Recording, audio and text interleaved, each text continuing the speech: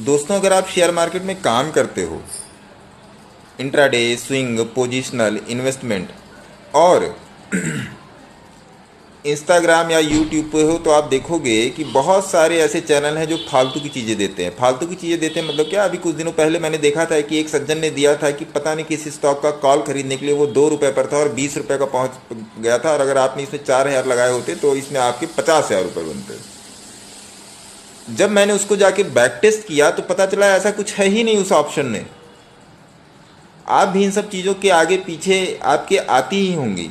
तो कहने का मतलब ये है कि स्टॉक मार्केट में सफल होने का केवल एक ही रास्ता है, और वो है नॉलेज नॉलेज आपको जहाँ से मिले, आप वहाँ से गेन कीजिए।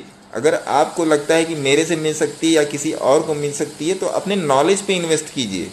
अपने लॉस पे इन्वेस्टमेंट की इन्वेस्टमेंट मत कीजिए। सबसे पहले अपनी नॉलेज पे इन्वेस्ट कीजिए, अपनी नॉलेज को बढ़ाइए, फिर स्टॉक मार्केट में आइए, क्योंकि विदाउट नॉलेज ये बहुत बड़ा सरदर्द है। और अगर नॉलेज है तो इससे अच्छी चीज़ दुनिया में कोई है ही नहीं।